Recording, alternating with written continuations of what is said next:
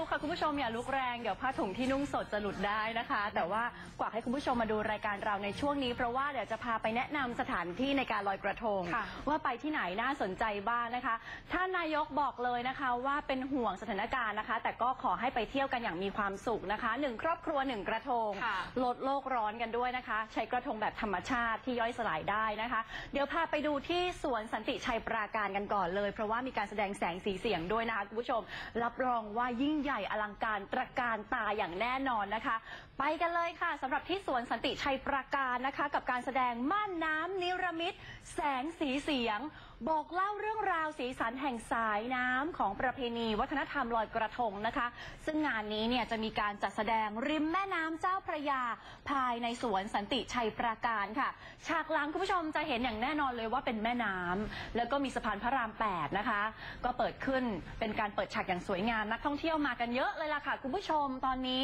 อากาศกำลังเย็นสบายเมื่อเช้านะคะ ริชากับแอม ดูสภาพอากาศแล้วประมาณ 23 องศาในช่วงเช้า เชื่อว่าตอนค่ำๆก็จะบรรยากาศลมเย็นสบายเหมือนกันนะคะ ก็ในปีนี้ชูแนวคิดค่ะเรื่องของศรัทธาวิถีแห่งสายน้ำเพื่อสืบสารประเพณีลอยกระทงแบบรักโลก ลอยกระทงด้วยวัสดุธรรมชาตินะคะ กิจกรรมแต่ละกิจกรรมที่เกิดขึ้นในงานก็จะเป็นการสะท้อนคุณค่าของความเป็นไทยนะคะ มีการจัดทำกระทะทดน้ำจากแม่น้ำเจ้าพระยาด้วยเป็นกระบะทดน้ำหน้าตาเป็นยังไงเดี๋ยวไปดูกันได้ที่งานนะคะนักท่องเที่ยวจะได้ร่วมลอยกระทงกันได้กับกระบะทดน้ำอันนี้เขาจะมีการสาธิตทำกระทงกาบกล้วยด้วย แล้วก็มีกระทงกะลากระทงใบตอง กระทงรวงข้าวน่าสนใจมากเลยนะคะ แล้วก็ยังมีเกร็ดน่ารู้ของประเพณีลอยกระทง 5 พื้นที่นะคะ อย่างที่กรุงเทพมหานครก็จะมีประเพณีลอยกระทงเหมือนกัน เชียงใหม่เขาเรียกประเพณีโคมยี่เป่ง ส่วนที่สุโขทัยจะเรียกว่าเป็นประเพณีลอยกระทงเผาเทียนเล่นไฟ ส่วนที่จังหวัดตากลอยประเพณีนะคะ ก็จะเป็น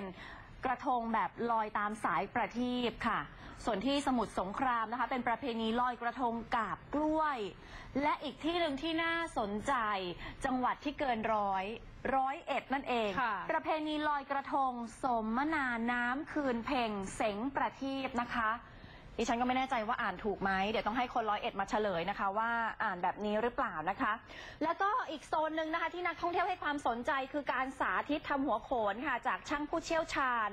ซึ่งจะเป็นงานศิลปะชั้นสูงของไทยเลยนะคะสำหรับหัวโขนเราไม่ค่อยได้เห็นกันบ่อยๆนะคะ และยังมีการแสดงบรรเลงดนตรีไทยร่วมสมัย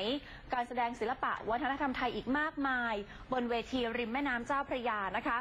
สำหรับงานสีสันแห่งสายน้ำมหากรรมลอยกระทงในวันนี้นะคะ จะเริ่มตั้งแต่ 4 โมงเย็นเป็นต้นไปไปจับจองได้ที่สวนสันติชัยประการ ยาวไปจนถึง 5 ทุ่มเลยนะคะ ใครสนใจไปกันได้เลย เดี๋ยวพาไปดูอีกหนึ่งจุดจุดแหล่งที่เขาซื้อขายกระทงค่ะเพราะว่าเราจะต้องมีกระทงไปลอยในงานด้วยนะคะ เดี๋ยวพาไปดูบรรยากาศที่ศูนย์กลางตลาดดอกไม้ ปากคลองตลาดใหม่ มีการซื้อขายกระทงคึกคักกันเลยนะคะ ส่วนใหญ่เขาทำจากวัสดุธรรมชาติค่ะคุณผู้ชมใบตองนี่แหละตอนนี้ขายดีแล้วก็หยวกกล้วยนะคะ วางจำหน่ายกันหลายรูปแบบ แบบที่คุณผู้ชมจะสามารถเอาไปประดิษฐ์เองก็ได้ แบบตั้งแต่วัสดุเลยคือมีหยวกกล้วยแล้วก็ใบตองนะคะ หรือจะซื้อแบบที่ทำเสร็จสำเร็จแล้วก็ได้ ใบตองราคาอยู่ที่มัดละ 60ถึง80 บาทนะคะ ราคาจะปรับขึ้นจากปีที่แล้วเล็กน้อยประมาณ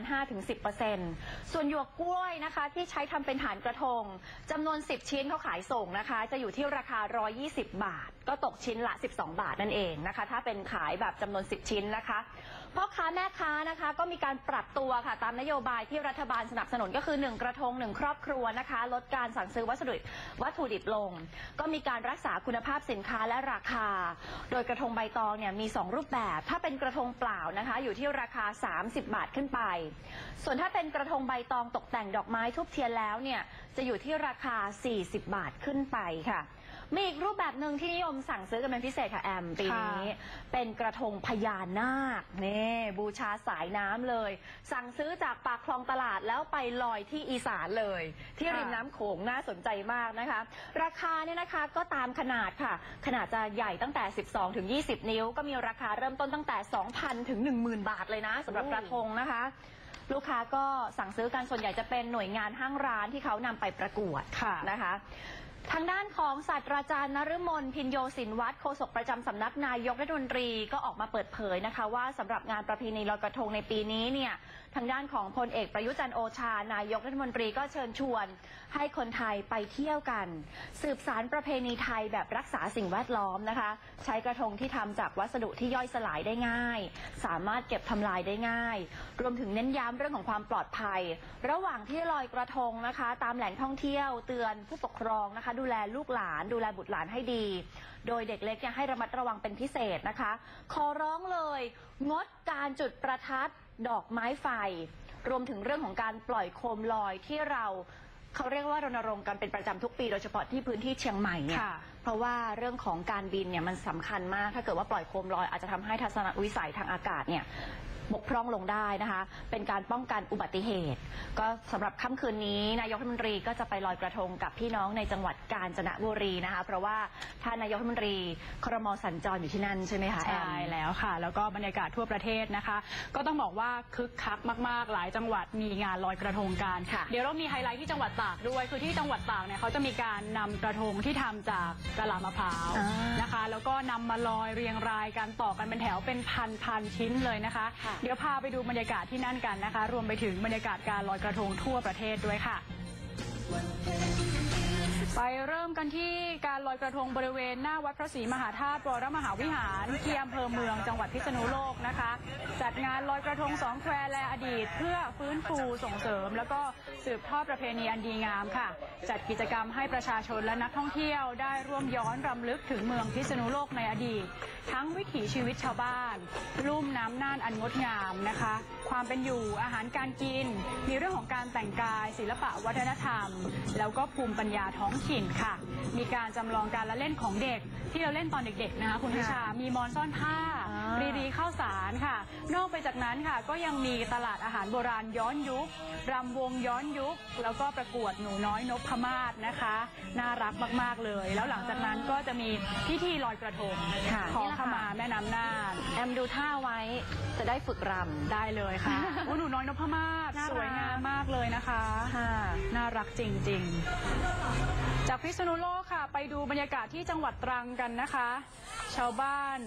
บ้านสะพานยางที่ตำบลเขาปูนอำเภอห้วยยอดจังหวัดตรังค่ะ ก็รวมกันสืบสารประเพณีลอยกระทงสาย หนานมดขัน เป็นหนึ่งเดียวในจังหวัดตรังค่ะ ใช้กะลามะพร้าวเป็นวัสดุเหลือใช้จากธรรมชาติเนี่ยนะคะ กว่า 400 กระทงนำไปลอยในแม่น้ำแล้วกระทงก็จะเรียงรายเป็นแถวไหลไปตามกระแสน้ำอย่างสวยงามค่ะ ซึ่งประเพณีลอยกระทงสายหนานมดคันจะจัดขึ้นที่นี่ นอกจากจะเป็นเรื่องของการสืบสานวัฒนธรรมประเพณีอันดีงามของไทยแล้ว ยังกระตุ้นให้ชาวบ้านตระหนักถึงการอนุรักษ์ธรรมชาติ และสิ่งแวดล้อมค่ะ ไปดูที่จังหวัดลบบุรีนะคะ มีงานลอยกระทงย้อนยุคจอมพลปพิบูลสงครามค่ะ เป็นขบวนแห่ยิ่งใหญ่ในยุคสมัยต่างๆ มีคนมาร่วมขบวนกันเป็นหมื่นๆคนเลยค่ะ การแต่งกายส่วนใหญ่ก็จะเน้นสมัยจอมพลปพิบูลสงคราม แล้วก็ยังมียุคสมัยอื่นๆด้วยนะคะ แห่ไปรอบตัวเมืองลบบุรีผ่านบราณ สถานต่างๆ ระยะทางกว่า 2 กิโลเมตรค่ะ ซึ่งมีผู้ว่าราชการจังหวัดลบบุรี และนายกกาชาตินะคะ มานั่งช้างตัวแรกนำขบวนช้างและขบวนม้าค่ะ ประชาชนนักท่องเที่ยวก็มารอชมกันตลอดสองข้างทางเลยค่ะ น่ารักเนาะเป็นย้อนยุคอีกแบบหนึ่งนะคะ ใช่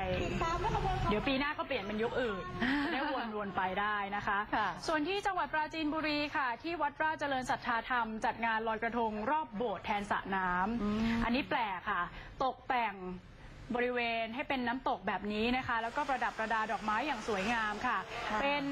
ประเพณีที่ให้ประชาชนเนี่ยมาลอยกระทงรอบโบสถ์หนึ่งเดียวในจังหวัดปราจีนบุรีเลยค่ะ คือที่นี่เนี่ยเพราะว่าวัดเนี่ยอยู่ไกลแหล่งน้ำตามธรรมชาติ ค่ะ ก็เลยเป็นการอำนวยความสะดวกให้กับพุทธศาสนิกชน ที่จะเดินทางไปไหว้พระทำบุญอยู่แล้ว ให้ลอยกระทงได้ภายในวัดเลยค่ะ อ๋อเคยพูดเล่นๆกันกับเพื่อนนะคะ ว่าเข้าวัดแล้วร้อน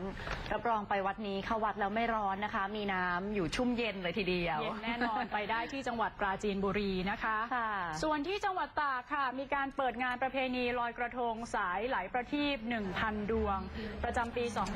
2562 กันอย่างยิ่งใหญ่เลยนะคะ โดยมีผู้ว่าราชการจังหวัดเป็นประธานในพิธีค่ะ อัญเชิญกระทงพระราชทานทั้ง 9 พระองค์ ลงลอยเป็นประถมฤกษ์นะคะ นักท่องเที่ยว มีทั้งชาวไทยแล้วก็ต่างชาติไปร่วมงานกัน เน้นเรื่องของการอนุรักษ์ การสืบสารศิลปะวัฒนธรรม เป็นภูมิปัญญาท้องถิ่นนะคะ แล้วก็สร้างความสามัคคีในคนในชุมชนด้วย แล้วก็อย่างที่บอกนะคะกะลามะพร้าวเนี่ยมาลอยต่อกันเป็นสายกว่า 1,000 ใบเลย เป็นไฮไลท์อีกหนึ่งจุดค่ะ สวยมาก ๆ เลยนะคะ ประเพณีนี้เนี่ยเราตั้งใจกันขึ้นมานะคะ เพื่อที่จะเขาเรียกว่าขอขมาพระแม่คงคา ค่ะเราเนี่ยต้องใช้น้ำนะคะ แล้วเวลาที่ใช้น้ำเนี่ยบางทีชำระสิ่งสกปรกไปชะไปกับน้ำเนี่ยเราก็ถือโอกาสในปีหนึ่งเนี่ยนะคะคุณผู้ชมในการที่จะขอขมาพระแม่คงคา แล้วก็วันนี้ถือเป็นอีกหนึ่งวันที่สามารถช่วยกันตระหนักได้นะคะ ว่าการรักษาสิ่งแวดล้อมไม่เพิ่มขยะให้กับแม่น้ำเนี่ยสิ่งสำคัญเลยที่เราจะสามารถช่วยกันทำได้นะคะ เพื่อที่เราจะได้อยู่กันแบบมีความสุขแบบนี้ไปนานๆ